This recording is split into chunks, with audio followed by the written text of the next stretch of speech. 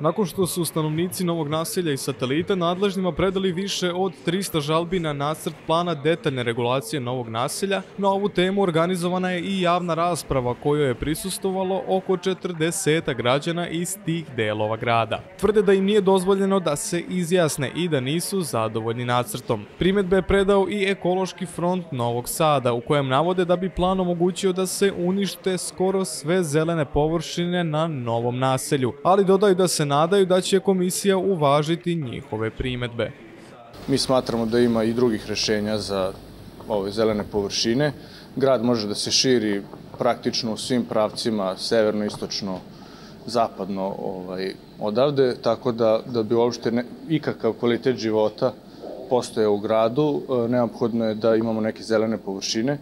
Primetbe građana podržalo je i društvo arhitekata Novog Sada, a pismo podrške s obzirom da nije mogao biti prisutan, poslao je i arhitekta Vaso Krčmar. On navodi da bi u slučaju da svi stanari novog naselja imaju automobil, što ipak nije tako, popunjenost trenutnih parking površina bila 36%. U pismu dodaje da nadležni treba građane da pitaju šta im je neophodno u ovom trenutku i ističe da u tom delu grada postoji mnoštvo površina koje mogu kako je naveo, da se iskoriste na kreativni način. Stanari kažu da parkinga ima, ali i da strahuju za prirodu.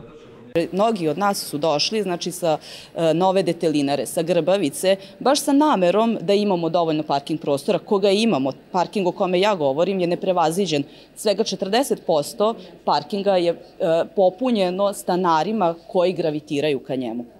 I to je, to je nešto što, što mi jednostavno ne damo. Dosta nam je betona, dosta nam je uh, da živimo kao sardine, znači dajte ljudi da dišemo slobodno, zdrav, čist vazduh koliko god je to moguće u ovom gradu.